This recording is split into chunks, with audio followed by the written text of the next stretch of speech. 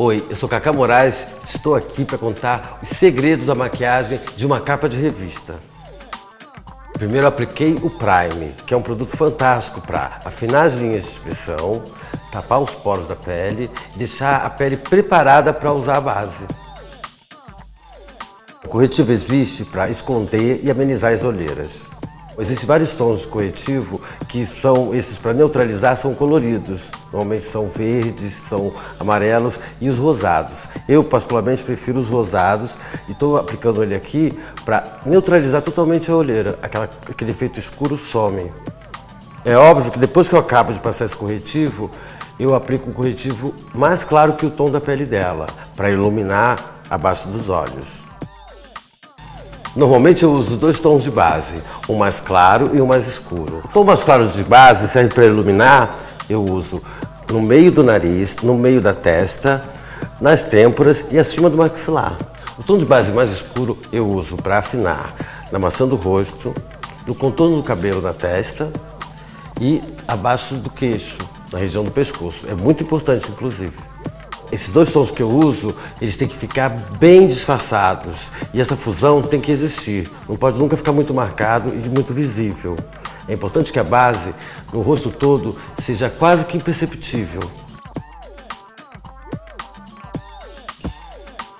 O blush com efeito bronzeador dá um colorido no rosto. Passado com o pincel mais largo, ele dá o acabamento perfeito para deixar com esse ar de capa de revista.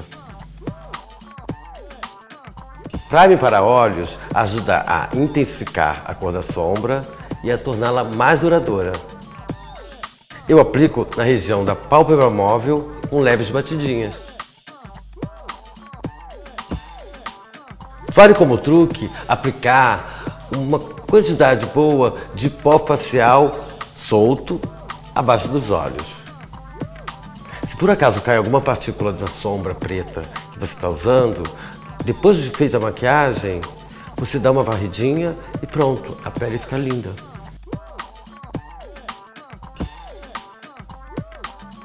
Agora o meu The Best, olhos pretos esfumados. Primeira coisa, a sombra preta compacta, com um pincel bem fininho. Com o auxílio do pincel fininho, eu uso essa sombra preta molhadinha bem na raiz dos filhos, com efeito delineador mesmo, começando bem do cantinho interno até o canto externo, esfumando, dando esse efeito mais borrado.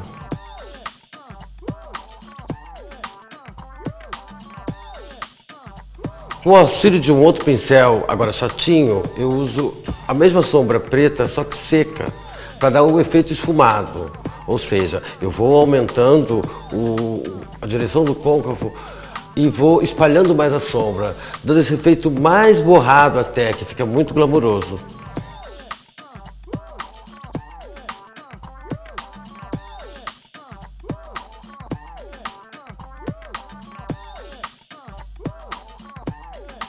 Às vezes eu gosto de pôr um pouco mais de glamour.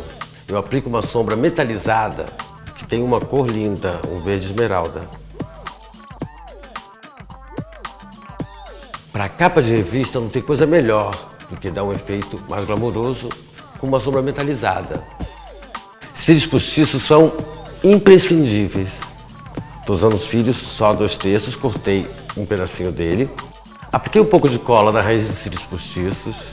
E uma dica é dar uma esquentada numa lâmpada.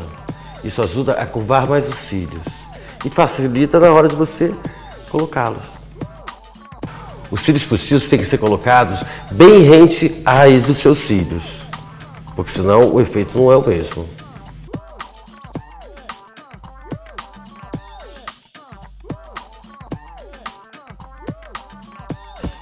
A aplicação da máscara ajuda a juntar os seus cílios postiços com os cílios naturais, tanto em cima quanto embaixo.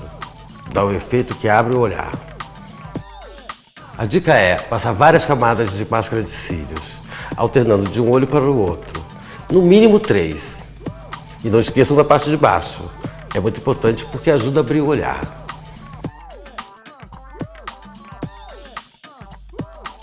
A correção da sobrancelha é um detalhe muito importante que ajuda a complementar o olhar.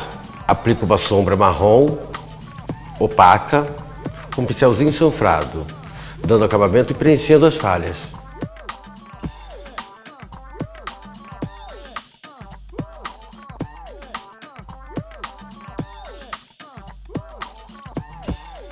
Um ponto de luz bem no cantinho interno ajuda a dar esse glamour e o acabamento. Pode ser uma sombra metálica, pode ser uma sombra cintilante ou até mesmo um glitter.